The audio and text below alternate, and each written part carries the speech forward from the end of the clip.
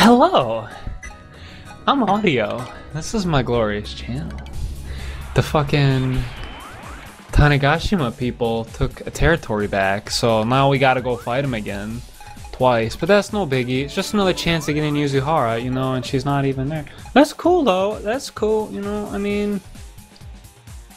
They actually have units, so, I mean... She's gonna go... Let me see what I gotta do here. Uh, Suzume go up front? Sounds good to me. Um... Suzume, where? Oh yeah, I used her to scout, so she can't, she can't go up front. What am I thinking? Okay, we gotta set in my archers then. Both of them. Um, because I don't care about either of them at all. And, uh... I need both my guards for the capital. Rizna, is she gonna go? Gekko's not gonna go. Ranmaru, I mean, she's just gonna get shot by Tanegashima. Do I care? Not that much. Well, no, because I... Alright, I'll send Rance to the capital. I'll do that. I'll do it. I don't care. Uh, I don't care. Go on, do it. Oh, good. He shoots the worst unit. Thank you, Tanegashima, showing your brilliance. I don't know who he's based on. I don't even know if he's based on anybody. I don't... I don't know. If, if you know, tell me. You guys have given me helpful information so far, so let me know if if you know. Someone said in the comments Tanegashima clan was the first to import this shit. They're the muskets from the Portuguese. That's cool. Alright, see you, Ranmaru. Well, I miss you. I miss you. I don't have any real plans for her. Uh, so she's like a she's another dummy unit. I don't care if she dies. I don't, you know. I mean, she's like uh, it's like that guard unit to me. I don't need her. Because I'm not going for her character clear. I don't know if I've gotten that before on, on the channel. I might have. But um, I'm going for Katz's this playthrough because it works out. And I probably won't even get his. I know that I'm going to throw Cohen to his unit, which is a part of his thing. I don't know if you know about that or what. And, you know, my luck is supreme, so neither of my people die. Um, just keep moving along. Intelligence textbook, that's real good. That's, uh, not even gonna get used. Okay, Shibata, Maeda, Gekko, Elena, Rance. God, that makes me wince. I don't know if I want to do it. I'll do it. I'll do it. I'll do it. Fuck it. Fuck it. Fuka? No. Fuka? Yeah, we're gonna get Fuka? Akechi? We're gonna get Akechi? Yeah. Alright. We'll get Akechi in there. I mean, Rance has already survived the shot from Yuzuhara, so that's fine. And we'll get rid of this guy. This fucking old guy. Get him out of there right away. That other girl, oh yeah, he goes right for Rance. Typical shit. Yuzuhara probably will too. Nice. At least my guards were on their fucking A game, you know? Or I would have just been bullshit super, super hard. Um, so yeah, that's how that goes. Okay, uh, then Katz is gonna be able to pick up Tanegashima's other shot, no biggie. No biggie, it's cool. Musketeer Defender is going on the offensive.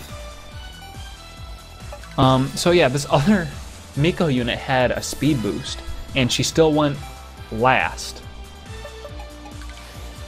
Okay. Well, you know, no, she went before Akechi because God forbid Akechi be, you know, outdone as shittiest unit in the game. He must be the supreme shittiest unit, so he will always go last, I guess.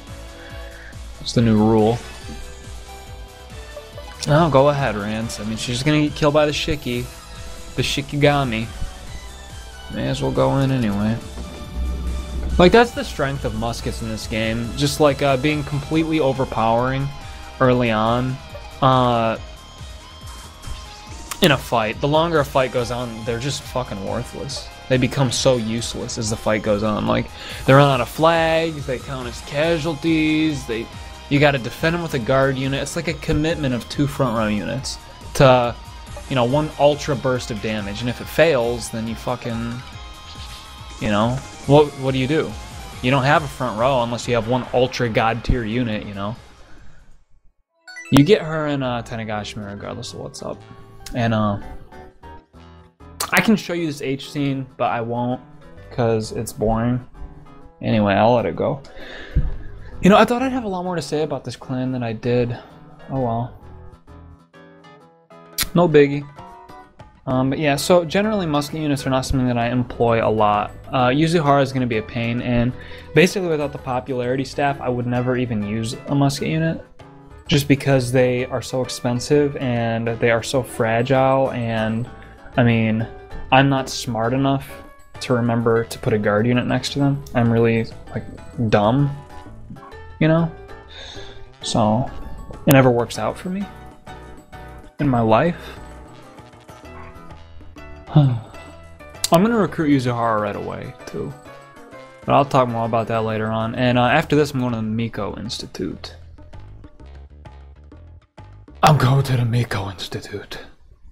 And Tanegashima taken prisoner. Not captured, taken prisoner. Different somehow. Um, anyway, this is a scene with Chaos, and uh, who fucking cares about the dialogue? It's like every other, it's like the dialogue in every H scene ever made. Doesn't matter. Unless it's like a psychological H scene. Am I gonna start ranting about that right now? Maybe briefly, but then it's not a rant. So I'll briefly discuss that. Psychological H scenes are like, um, really, uh, no, I'm too embarrassed to talk about that right now.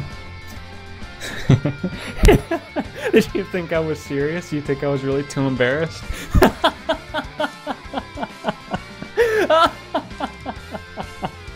oh, get the fuck out of here. We're done with this. That's a scary scene to me because Chaos's eyes are too big.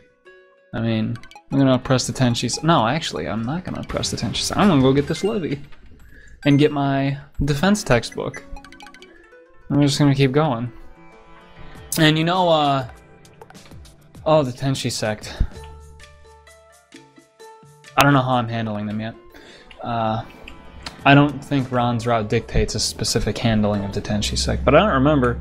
Um, whatever. I guess I can discuss this a bit here while I'm declaring war on the Miko too, because it's going to take forever, because uh, I have to go through all their stupid scenes. Um, you're probably wondering why Mori is so big and Takeda is so strong. And, you know, it is relevant to, like, their historical background and whatever. But, I mean, you never hear about Mori, really, right? You don't hear about how badass Motonari was toward the end of the war. You hear about the rivalry between Kenshin and fucking Shingen. You hear about that all the time. But you don't ever hear about Mori. Well, Mori was a big player because they allied with what the Tenshi sect represents in this game. The Tenshi sect represents like a large scale revolt of monks um, and religious peasants. Uh, this is gonna actually, this is gonna be too complicated to explain all in one go. So let me think about how to articulate this a little better.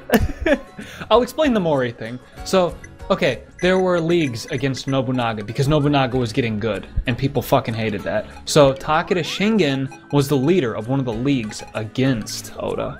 He was like, you know, and a lot of people were in a lot of minor clans and shit, but he was one of the big deals. And uh, his death by disease fucked a lot of stuff up. Like, Shingen might have been the unifier of Japan if he didn't die from disease. So that's important, it's worth noting.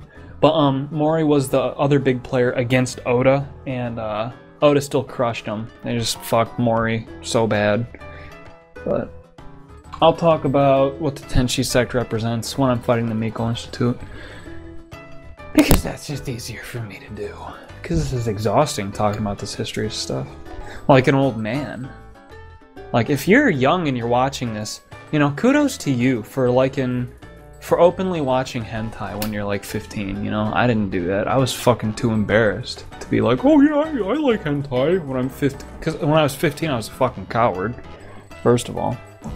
And, uh, taking an interest in history at a young age is pretty rare. Who does that? No one.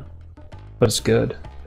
And, uh, I'll talk more about history later. I'm done with that shit for now. Uh, Yuzuhara, though, I will talk about her since I just recruited her, and she's getting the popularity staff ASAP. Obviously, that as well. Um, and she's gonna keep it just the whole fucking game, and she'll just spiral out of. Well, no. I told someone I'd get, I'd get, I'd give. give I told someone that I would give Daidoji the popularity staff, and I will do that because I love Daidoji. But um, Yuzuhara, typically, hey, I can keep that H scene in the game too. I mean, fuck it. You don't see any pussy or tits. I don't care. Um, I mean, look at it. Look at it again. Here. Look at it. There you go. Look, what? You don't see anything. You don't see anything. I could just boom all day long. All day long. She's pretty cute. She's not important though. She's never a character.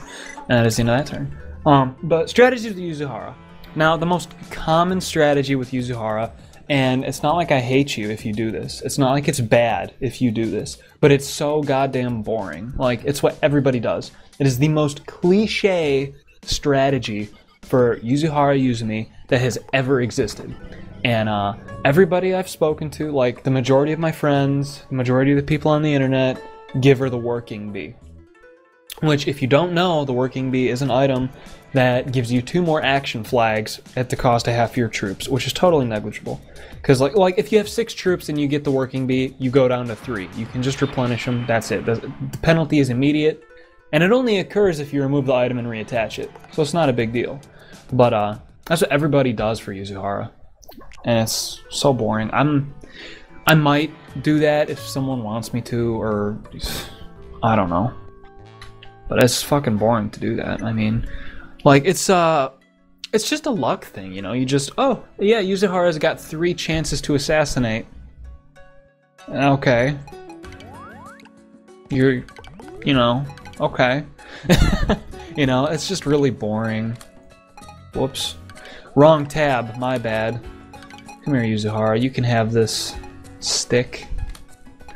And uh, I'll go to the Miko Institute in the next part. I'm not doing that in this one. Fuck that. Rance gets some defense stuff. What, I only have one? I don't care. I'm giving him this too. Fuck it. I'm not gonna dick around all day. What, he needs an intelligence one? Okay. I can... I guess I can do that. And castle sieging. Who needs that? Um, Fuka? Alright, oh yeah, I'm in the menus again. I gotta, I gotta stop doing that. Alright, uh, then I will... I'll declare war on them and I'll attack them once, but I'll attack them in the next part, not this part. So, how does that sound? Six, four, three, four, one. Am I gonna really waste Suzume on her one negotiation? Of course I'm not. Am I gonna waste Elena? No. You get out of there. Who's got three? Fucking Yuzuhara. No, Fuka. Good enough. Um, I fought these guys in my first route, so there you go. And to my knowledge, Miko Institute is just in this game because this is a fucking hentai game, and that is all. oh, accept reinforcements, and I've got a satisfaction bonus. This is getting out of hand, so let me go and just get Uruza real quick. And uh, then I will see you in the next part. How's that sound?